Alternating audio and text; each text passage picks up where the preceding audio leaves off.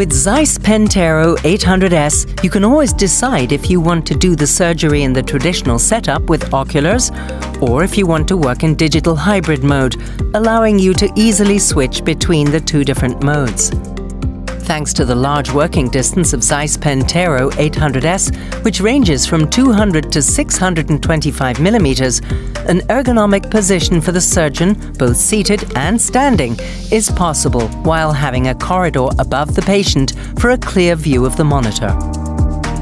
If you want to work in digital hybrid mode, we recommend using the Sony 55-inch 4K 3D monitor. This is also the monitor we will be using in this video.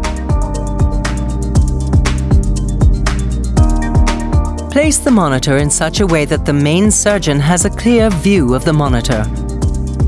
Before you start connecting the Pentero 800S with the Sony monitor, ensure both devices are switched off. There are different ways of connecting the external 4K 3D monitor depending on the version of your monitor. In this video, we use the Sony monitor that comes with a 12G SDI interface the cable needs to be plugged into input 1 on the monitor and to the SDI connection socket 11 on Zeiss Pentero 800S.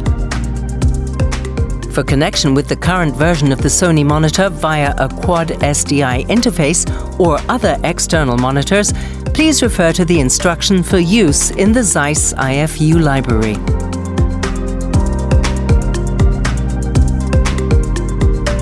Now switch on the Pentero 800S and go to the display settings.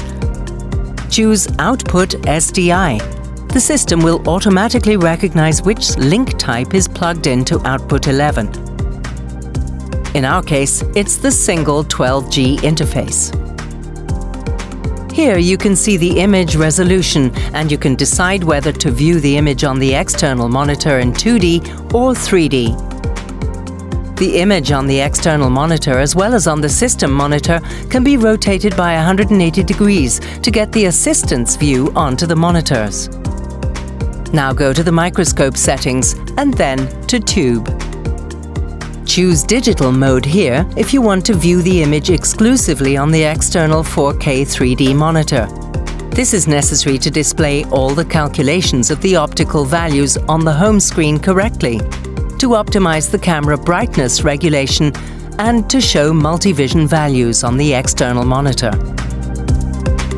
Select optical mode in the microscope settings for working in hybrid mode with simultaneous visualization in the oculars and the external 4K 3D monitor. We now turn to the Sony monitor. Ensure the monitor is connected to the power supply push the green power switch on the top of the stand pillar and the black switch monitor on-off control key on the lower left edge of the monitor. For initial settings that might need to be changed on the external monitor once for the first use, refer to the instructions for use.